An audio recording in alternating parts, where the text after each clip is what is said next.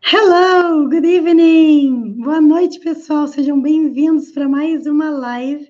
Hoje, num dia diferente, numa sexta-feira, às 20h30, porque essas lives acontecem sempre às terças e quintas, mas como hoje não, ontem não foi possível ter a live, tive um compromisso bem no horário da nossa live, então eu mandei aquele comunicado informando o pessoal da lista de e-mail, informando o pessoal do WhatsApp que a live tinha sido transferida para hoje.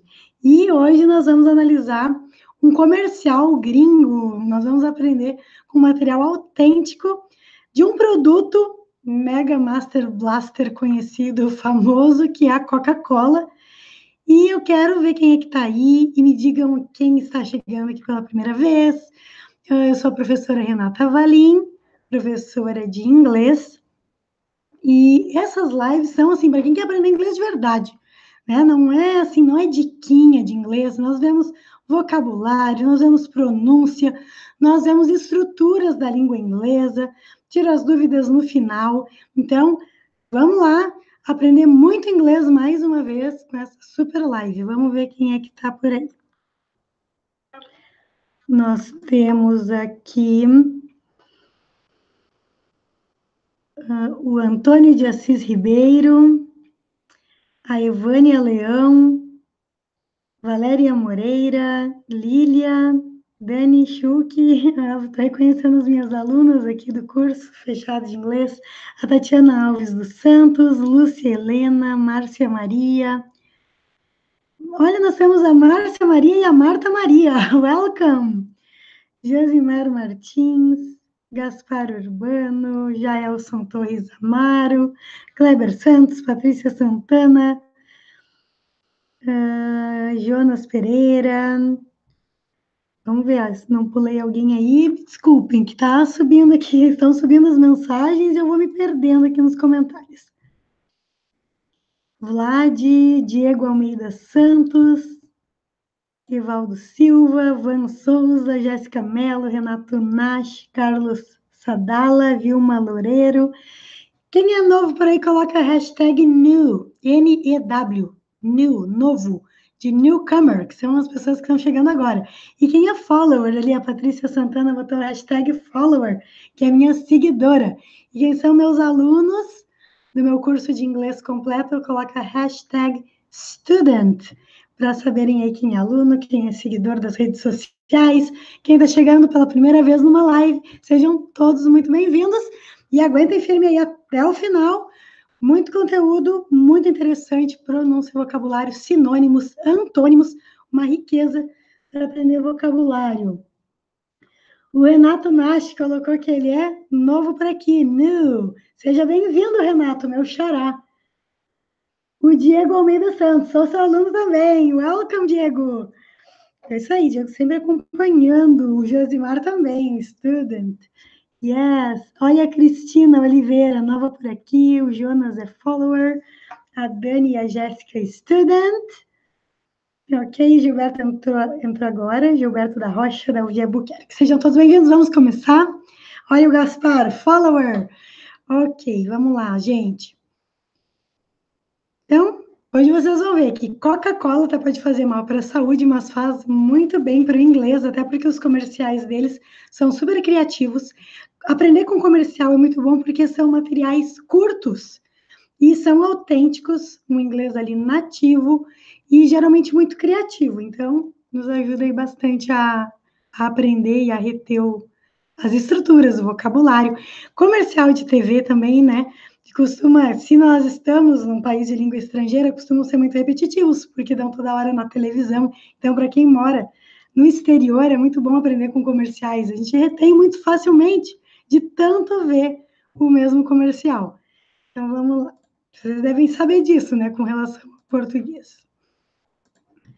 Então, aqui nós temos. Esse aqui foi o da The Lion King, da última live que nós tivemos na terça-feira nós analisamos um trailer do The Lion King. Aqui na descrição desse vídeo vocês acessam ao trailer do The Lion King, caso ainda não tenham visto, e também acessam o comercial da Coca-Cola. Aqui na descrição dessa live. Tem todos os links diretamente para o meu site, onde vocês podem assistir ao vídeo e ter acesso a essas transcrições e as traduções linha por linha e baixar gratuitamente o PDF com as transcrições e traduções. É só colocar o e-mail de vocês e vocês recebem lá no e-mail, mas lembrando que tem que procurar na caixa de spam, no lixo eletrônico, na aba promoções, outros importantes, porque ele pode estar em qualquer lugar do seu e-mail. Essa aqui é a extensão desse material do comercial da Coca-Cola, é o que eles vão falar hoje. E é importante frisar, pessoal, que eu não estou ganhando absolutamente nada fazendo esse merchan aqui da Coca-Cola. Muito pelo contrário, né? Até fiz a brincadeira que faz mal para a saúde, mas uh, nada a ver, tudo brincadeira, né? E, e aqui é, é só para a gente aprender inglês mesmo, esse é o único objetivo. Porque esse comercial, ele traz muitas palavras de sentido contrário. Então, vocês vão ver que riqueza para aprender aí, principalmente características, adjetivos, qualidades para as pessoas. E durante o comercial, onde é que entra a criatividade? Para quem ainda não, não viu, né, depois tem que assistir, até para ver a pronúncia nativa em velocidade natural, em ritmo, entonação da fala. Ok. Deixa eu ver aqui uns comentários. O Erd Nunes, follower. Tatiana, follower. Rosa Leme também é follower. Adilson, Lúcia Helena. Salomão Souza. Here, Salomão, I'm working today. I'm watching here in the battalion. Oh, que, que show! Tá assistindo no batalhão, tá trabalhando e acompanhando a live. Isso eu queria aprender inglês. E o José Roberto deu um oi. É isso aí. Quem quer, dá um jeito. Quem não quer, dá uma desculpa. Como para tudo. Aprender inglês com essas lives aqui, gente. Vocês vão aprender muito inglês. Então, como eu estava dizendo, temos muitas palavras aqui de sentido contrário. E a criatividade desse comercial, que para quem não assistiu tem que assistir depois, é porque eles vão mostrando os produtos da Coca-Cola, as garrafinhas, ou então as latinhas, conforme o que eles estão dizendo. Então é tudo ilustrado. Por exemplo, for the fat, for the skinny. For the fat, for the skinny. Para os gordos, para os magricelas. E aí vai mostrando uma garrafa da Coca-Cola bem gordinha e uma bem magrinha, ou então uma latinha. E ali vai, vai contextualizando e associando a palavra, o som com a pronúncia e também a imagem. E quanto mais recursos nós utilizamos na nossa aprendizagem, melhor. Auditivo, visual, né? Quanto mais nós utilizamos os nossos sentidos, facilita a aprendizagem e a memorização. Bom, aqui nós temos a palavra fat, que é gordo. E a gente, na maioria das vezes, já sabe essa palavra. Né? Tinha um grupo musical que se chamava Fat Family. Quem tem aí mais ou menos a minha idade, né, um pouco mais, sabe do que eu estou falando da Fat Family, era um grupo bem famoso, uma família de gordinhos. Mas a, a palavra fat é um pouco, é um tanto ofensiva. É o mesmo que dizer gordo, chamar alguém de gordo é ofensivo. Então tem outras palavras melhores para dizer isso, para se referir ou dizer que está acima do peso, ou então que é gordinho, palavras melhores para se referir, que seriam overweight overweight, literalmente acima do peso. Weight é peso, over, mais, acima, overweight. Então é muito melhor dizer que alguém é overweight ou nós estamos overweight, ok? E chubby, chubby é uma palavra que seria o nosso equivalente gordinho. Sabe aqueles bebês que são bem gordinhos, se costuma chamar de chubby? ou então uh, uma forma mais delicada e carinhosa para se referir a uma pessoa gordinha, chama chubby, é, ou fofinho, fofinho, uh, fofinho, fofucho, gordinho, e tem além do fat, que é ofensivo, também tem o fatso, vocês encontram muito nas tirinhas da Turma da Mônica, que é outra forma ofensiva, fatso, gorducho, gorducha, que o Cebolinha, que em inglês, em inglês se chama Jimmy Five, chama a Mônica de Fatso, Fatso ou Fat, ok? Já o contrário, gordo, gordinho, fofinho, é skinny. skinny, magricela, para alguém muito magro. Sabe quando é assim, aquelas modelos que são a pele e os ossos? Isso é skinny. E tem uma, um modelo de calça que se chama skinny, que elas são bem justinhas no corpo, né? Justamente porque ali fica bem justinho. E se a pessoa é magrinha, vai mostrar ali bem magrinho mesmo. Tem outras palavras para se referir a magro, e que também são, de repente, um, um, não tão magro assim, ou talvez um magro mais bonito, enfim, que são thin, thin. Vejam esse TH. Sim, porque como é que eu digo que eu quero dizer com isso? Às vezes as pessoas acham esses magros de modelos que de, ah, parece muito osso, enfim. Então, é magro e magro, tudo magro, mas, mas ali tem diferentes níveis de magreza, né? Então, nesse sentido, thin. Então, nós temos thin, com TH com som de S, com a ponta da língua entre os dentes, faz um S com a língua presa. Prende a, a ponta da língua e sopra. É esse o som. Thin. Ou então, slam. Slam. E esse M no final, os lábios se tocam, a boca fecha. Slam ok? Não é slim, é slam. Até o som fica diferente quando nós fazemos o som da forma certa, posicionando os lábios corretamente. Slam. For the tall, for the short. For the tall, for the short. Tall é alto, short é baixo. E essas características, qualquer adjetivo em inglês, não vai para o plural. Por isso vocês estão percebendo aqui uh, gordos, magricelas, altos, baixos, com S no português, mas sem S no inglês. E é assim mesmo. For the tall, para os altos. For the short, para os baixos. E nós temos outras palavras, né, para dizer alto e baixo em inglês, mas quando nós nos referimos, por exemplo, ao volume, o volume do vídeo, né, o volume da televisão, o volume do rádio, que é high. High também é alto, mas nesse exemplo né, de se referir ao volume, para substantivos abstratos se costuma utilizar high como alto. E, uh, e, a, e tall e high nós podemos utilizar né, para dizer uma montanha que é alta, tall ou high, mas muito comum usar high com substantivos mais abstratos e low para dizer baixo com uh, substantivos abstratos. O volume nunca vai ser short, vai ser low, low volume. E short, além de baixo, também significa curto, né? Short. Quando se usa no plural, shorts se refere à roupa, shorts, ao short, bermuda. Né? E, por exemplo, skirt é saia, a short skirt, uma saia curta. Então, dependendo do contexto, vocês vão saber se short é baixo ou curto. For those that laugh, for the near-sighted, for those who cry. Então, vejam novamente o, os, os opostos aqui. Laugh é rir. Cry é chorar. For those that laugh. Para aqueles que riem. Aqui onde tem esse that, poderia ser who. Porque quando nós nos referimos a pessoas, esse que pode ser that ou who. For those who laugh, também poderia ser.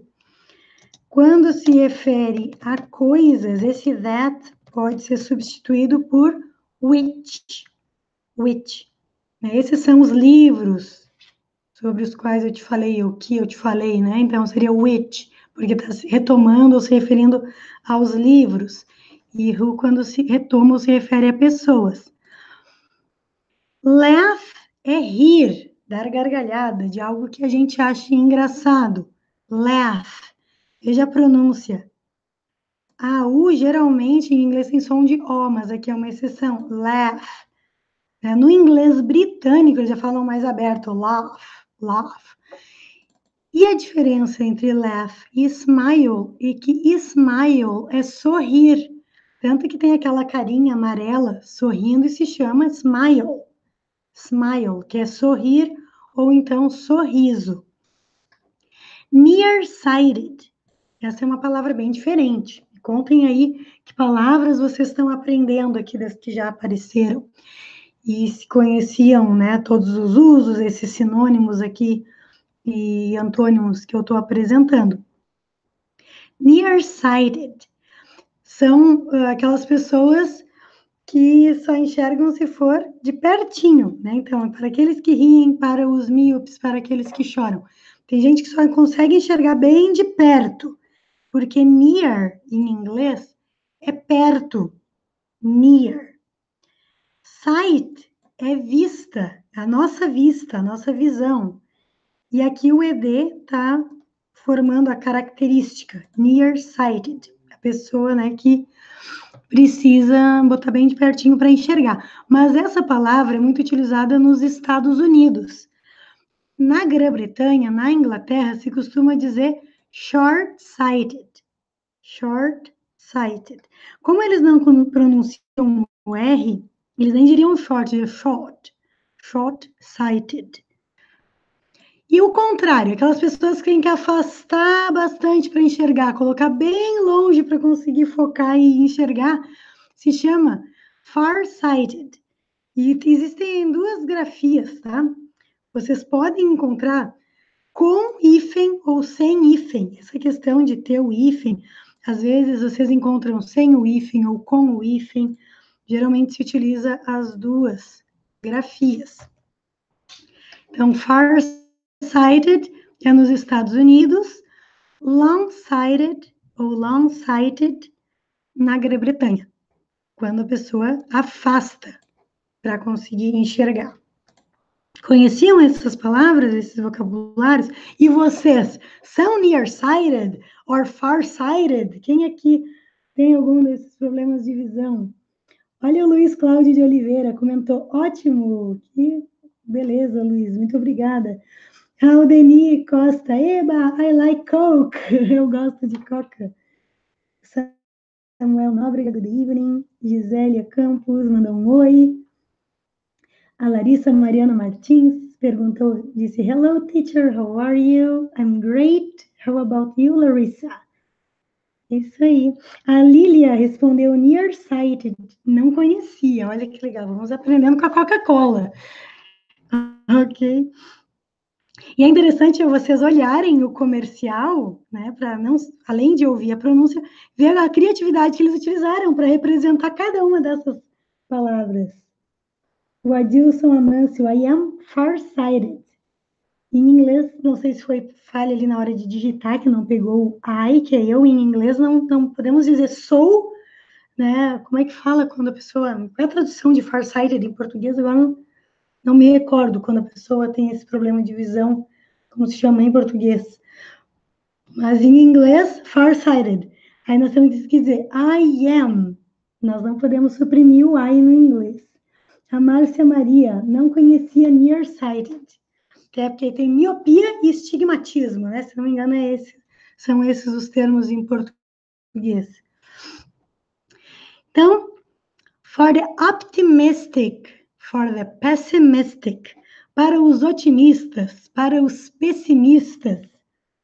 Então, aqui nós temos uh, optimistic, é otimista é uma pessoa que é positive, é positiva, ou então pessimistic, pessimista, é uma pessoa que é negativa, negative. For those who have it all, for those who have nothing, for those who have it all, for those who have nothing. Para aqueles que têm tudo, ou tem isso tudo, ou tem tudo isso, ou tem tudo, ok? For those who have nothing. Para aqueles que não têm nada. Vejam que no inglês não tem o não. para aqueles que, vejam que aqui eles utilizaram o who, que eu comentei anteriormente. Então, vocês sabem que poderia ser for those that have it all, for those that have nothing. Estaria correto. Para que tem nada, no inglês não aparece esse não, porque nós não podemos utilizar duas palavras de sentido negativo. No inglês, isso não acontece, até porque nessa palavra nothing já tem o no aqui embutido na própria palavra. Nothing. Thing em inglês significa coisa. Nothing, que seria o no, nenhuma coisa, é nada. Então, se a pessoa tem nada, é o mesmo que ela não tem nada. Poor, pobre, aqueles que não. Uh, For those who have it all, na verdade aqui ficou, vamos dizer que ficou ao contrário, vou inverter. Para aqueles que têm tudo, vamos dizer que são os ricos, rich. E outra palavra para se referir a rico é wealth, wealth. Poor, pobre. Então aqui nós temos essas palavras de sentido contrário. For the open, for the players, for the closed. Para os abertos, open. E aqui o contrário, closed, fechados. For the players, para os jogadores. Play é jogar, também é tocar um instrumento musical, também é brincar. Quando se refere a um CD, um DVD, é reproduzir. Quando nós nos referimos como um substantivo, uma coisa, play é uma peça teatral, né? Então tem vários usos a palavra. Já a palavra player se refere à pessoa que joga, então é o jogador e o S por causa do plural, players. Vejam que player é um substantivo, é uma coisa, então por isso vai para o plural e tem o S. Quando é uma característica, não tem o S, não vão para o plural. Como as cores, por exemplo. Todas as cores são adjetivos. Então, no inglês, as cores nunca vão para o plural. For the families, for the anxious, for the families, para as famílias. Vejam que family, em inglês, termina com Y no singular, família. Mas no plural, nós não temos mais aquele Y. Aqui é plural. Por quê? No inglês, as palavras Y, consoante antes de Y, nós substituímos Y por I e acrescentamos ES. Ou tiramos o Y e acrescentamos IES ok? Para vocês entenderem. E family é uma palavra, um substantivo, se refere a uma coisa, por isso foi para o plural e está com S, não é uma característica. Já anxious, né, é ansiosos ou ansioso. A palavra vai sempre terminar aqui com S, anxious.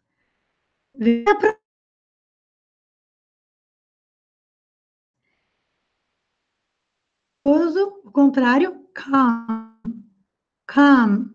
Nós não pronunciamos o L para dizer calmo ou calma, calm. Seguindo, nós temos for kings, for magicians, for kings, para reis, for magicians, para magos ou mágicos, né? Para reis e magos. Quem é rei Queen é rainha. E magicians são os magos ou são os mágicos. E nós também temos a palavra magic, magic, que é usado tanto com o sentido de magia ou mágica, a mágica que o mágico faz, né, ou magia, e como característica também. E o magical como uma característica somente. É uma qualidade. Magical moment, magical feeling, ok? Magical, uh, magic powers, Esses podem ter características. Esse aqui é um substantivo, mágica, magia. E esse aqui é a pessoa que faz mágica. The magician. Magician. Observem a pronúncia aqui, ó. De. Magician. Som de X ou CH. For the committed. For castaways. For the rockers. For the committed ou committed. O T entre vogais pode ser pronunciado com som de R ou de T. Committed, committed. Para os comprometidos. For castaways. Para náufragos. Castaway. Cast vem de jogar, lançar, atirar e também é elenco, como nós vimos na live, na última live sobre o Rei Leão. Meet the cast. Conheça o elenco. E aqui essa palavra já aparece com outro significado, né, de castaway. Away é longe, é sinônimo de far, que nós vimos agora há pouco. Far é longe, é far-sighted, é quem enxerga de longe, por isso far é longe, near é perto, away também é longe. Então, para quem está jogado longe, vamos dizer assim, né? Então, essa é a ideia, por isso que são os náufragos. E os rockers são os roqueiros. For those that go, for those who ride the train, for those, TH com som de Z com a ponta da língua entre os dentes. For those that go, for those who ride the train. O TH tem som de S ou de Z entre os dentes. E em breve eu vou fazer uma live sobre pronúncia, focando só no TH, trazendo várias palavras em que a pronúncia seja com som de Z e quando é com som de S. Vai ser muito em breve essa live, vou avisar vocês. Então, for those that go, for those who ride a train. Para aqueles que vão, go é o verbo ir. For those who ride a train. Para aqueles que andam de trem. For the well-mannered. For those who suffer. For bikers para os educados, well-mannered, uma pessoa educada, que tem boas maneiras, e tem também a palavra polite, polite, uma pessoa polida, educada. E o oposto, vamos colocar assim, versus unpolite, que é a pessoa que não é educada, é mal educada, unpolite. For those who suffer, suffer, sofrem, for bikers, para ciclistas.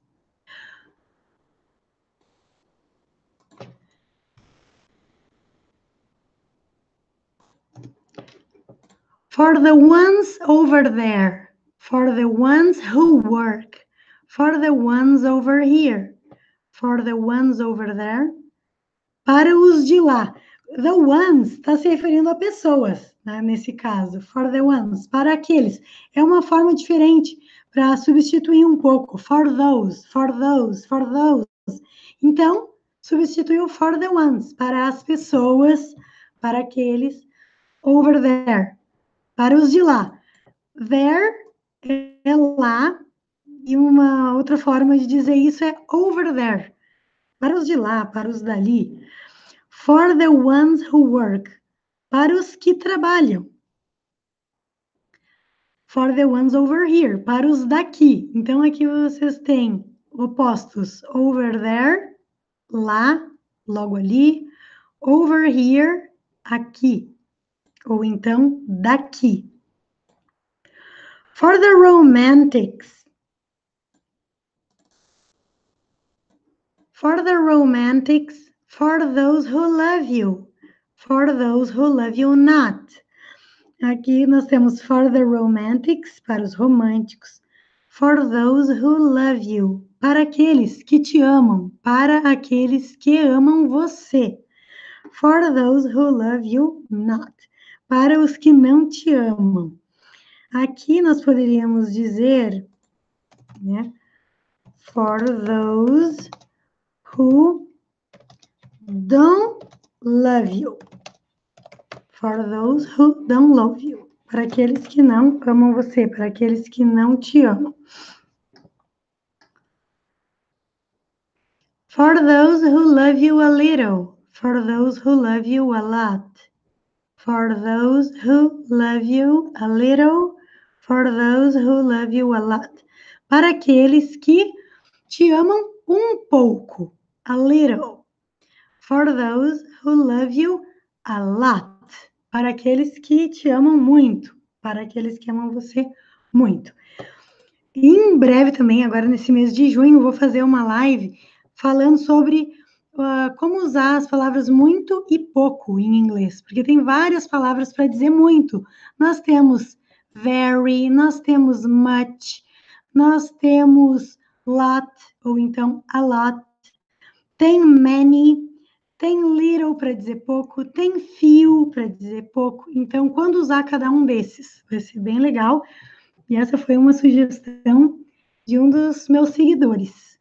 E aí nós vamos trabalhar essa, essa questão. Deixa, depois eu vejo aqui qual foi o nome da pessoa que sugeriu esse tema. For the tanned, for nudists. For the tanned, for nudists. Nós temos tan, que é bronzear, tanned, que é bronzeado, bronzeado do sol. E tan também é aquela cor amarelo queimado. Nós chamamos de amarelo queimado e para eles é tan. For nudists, para os nudistas. Uh, nudist, aqui ficou em português. Nudist é uma palavra muito utilizada nos Estados Unidos. Aqui ele botou tudo no português. Nat naturist. Na Grã-Bretanha, na Inglaterra, eles chamam naturist. Naturist, para se referir aos nudistas. Nos Estados Unidos, nudist. Uh, ten, esse ten aqui de bronzeado tem a mesma pronúncia de ten, que é o número, né? Ten, ten.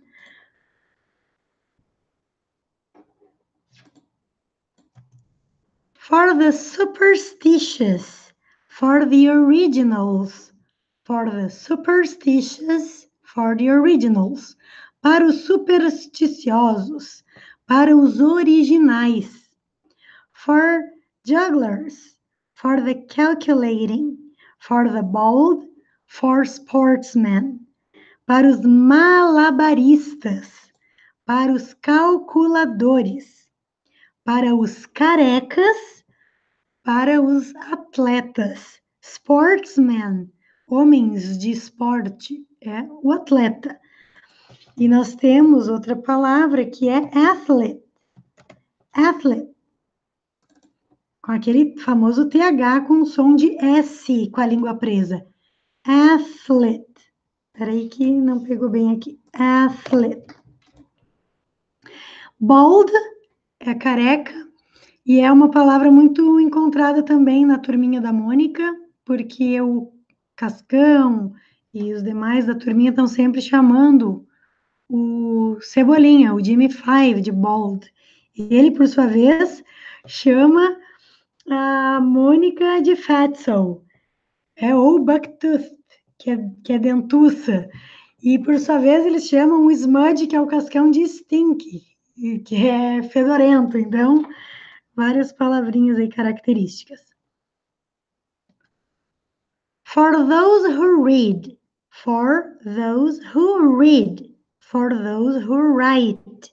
Para aqueles que leem, para aqueles que escrevem.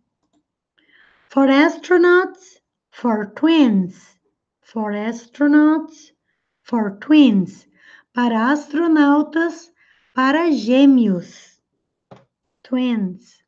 The Twin Towers, as to his genius, Twin Towers.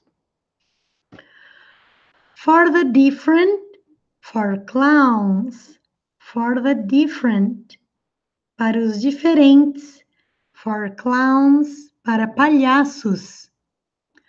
For those who live alone, for those who live together, for those who live alone for those who live together, para aqueles que moram sozinhos.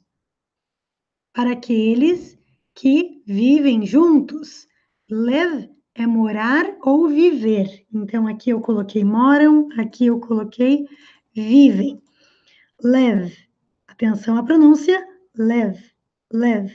Não é live. Live é uma transmissão ao vivo como essa, a live streaming, que se chama em inglês. E aqui também não é live, não é o nosso i, live, é live, live, com os lábios e a boca bem relaxada. Together, juntos, TH com som de Z, together. For the undecided, for kissers, for the undecided, for kissers.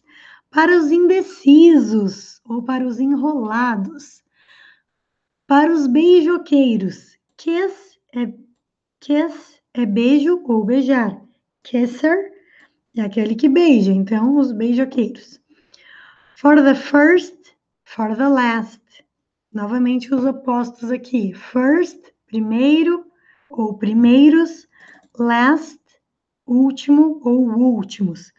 Last, como uma ação, significa durar. Durar. Quanto tempo dura a viagem, quanto tempo dura o filme. Então, last é tanto o último quanto durar. For men, for the cautious, for her. For men, for the cautious, for her. Para homens, para os precavidos, para ela. Man com apenas um A é o singular, homem. Men com E é plural, é homens. E na pronúncia a diferença é sutil. Man, mais aberto, man. Man, um pouco mais fechado, mais comedido. Man é plural, man. For musicians, for the transparent. Para músicos, para os transparentes.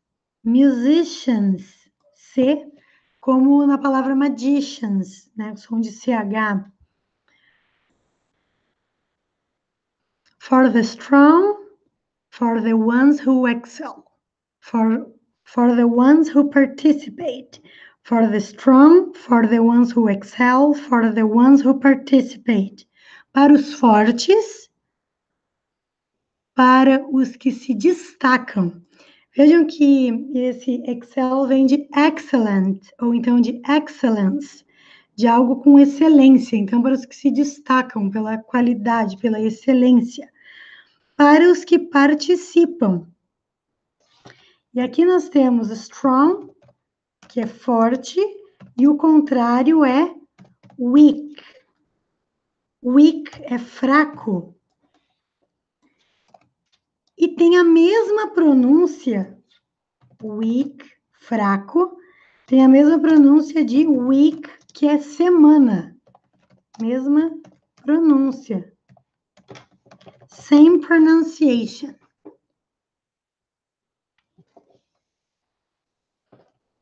A Márcia Maria disse que não conhecia o Excel, né? É o nome daquele programa. O Gaspar Urbano perguntou: her não é ele? Não, aqui her é feminino. O masculino, o oposto de her, é him. Ou então, dependendo do contexto, né, em outro contexto vai ser his. His, dele. Her, dela.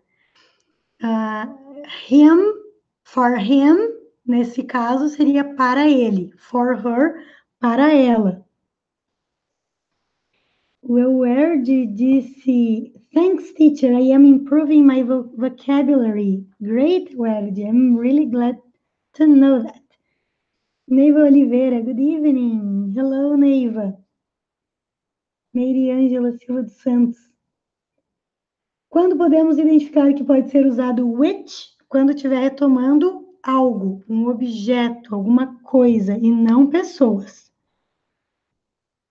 A Dani Schuch, amo suas aulas, estou aprendendo muito, cada dia mais viciada em aprender inglês. Obrigada, teacher. You're welcome, Dani. A Dani é exemplar, né? Dani, minha aluna da turma 9, sempre motivando os colegas e lá para mil. É isso aí, Dani. Congratulations.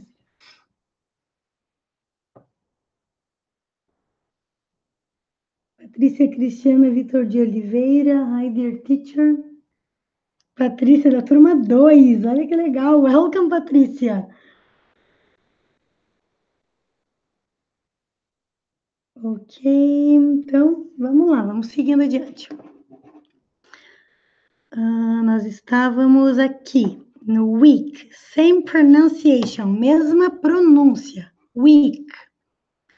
For the ones who add, for the ones who want to be silent, for the, the ones who add, for the ones who want to be silent. Para os que agregam, adicionam, add vem de adicionar, agregar. For the ones who won't be silent, para os que não ficarão calados, não ficarão em silêncio. Be é ser ou estar, e muitos casos ele tem para nós o sentido de ficar. E esse won't é o futuro negativo. Won't significa will not. Ele é abreviação, a contração de will not. Em termos de pronúncia, qual é a diferença desse won't versus o verbo querer? Qual é a pronúncia?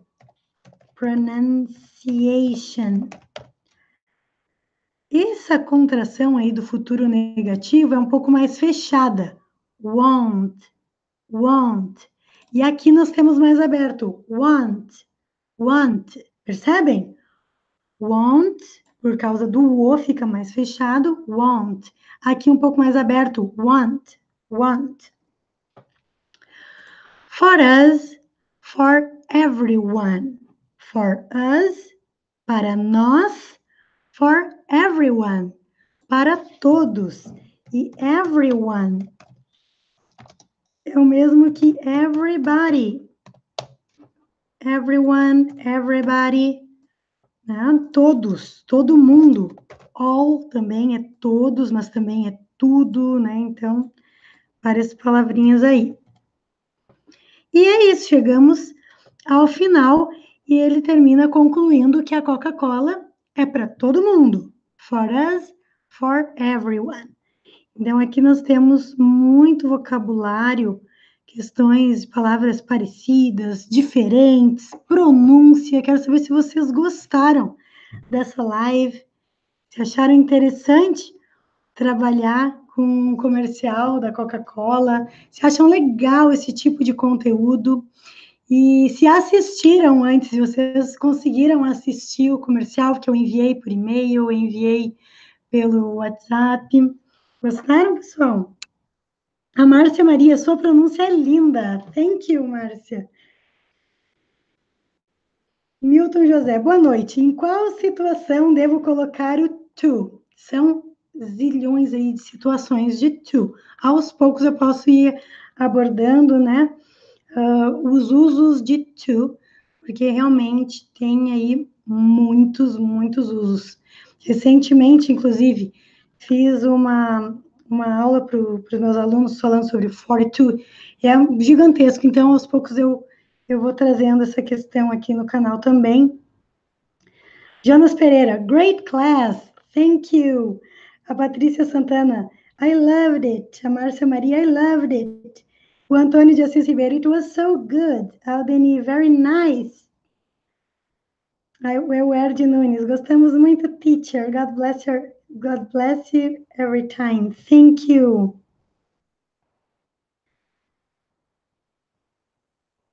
Que legal, pessoal, vocês aqui. O Ewerd, we are falling in love, teacher.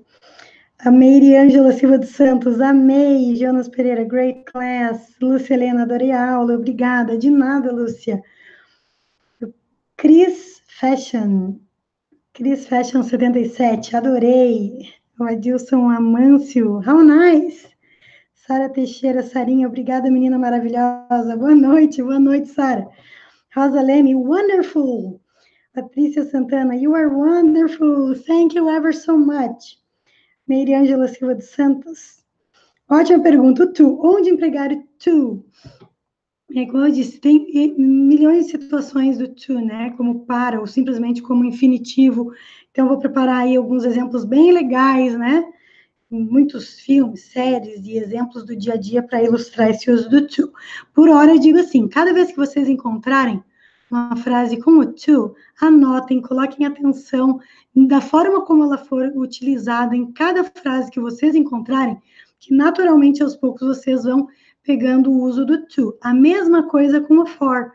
Né? For e to causa muita confusão no brasileiro quando usar to, quando usar for, porque ambos podem ser traduzidos como para, embora for também seja traduzido como por, né? Então tem aí várias situações. A minha principal dica para aprenderem to e for é atenção quando encontrarem essa palavra, Foquem na frase, foquem na estrutura como um todo, anotem, coloquem no Anki, né, repitam bastante, estudem bastante, revisem bastante essas frases, que aí vocês vão pegando o uso de to e for, já que são tantos e tem que aprender aos poucos à medida que for aparecendo. Michael Wagner, thank you for all teacher. Great classes, disse a Van, Van Souza. Ok. Olha o Elwer Nunes, quero falar tão bem quanto você algum dia. Que maravilha saber que eu sou uma inspiração e vai conseguir sim.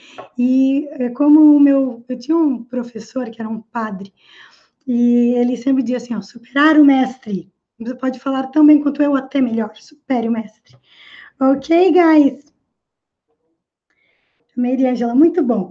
Thanks for coming. Vocês estão de parabéns estarem aqui numa sexta-feira à noite até agora aqui comigo and see you next time. A nossa próxima live vai ser na terça-feira, dia 11, véspera do Dia dos Namorados, em que nós vamos aprender inglês com o filme, com a música Pretty Woman. Pretty Woman, uma linda mulher. Gostam desse filme? Vão acompanhar a live. E se vocês gostaram dessa live, curtam. Se vocês ainda não são inscritos no canal ou ainda não ativaram as notificações no sininho, não deixem de fazer isso para receber sempre a notificação das lives. Thank you once more. Obrigada mais uma vez. And see you next week. Good night. Bye.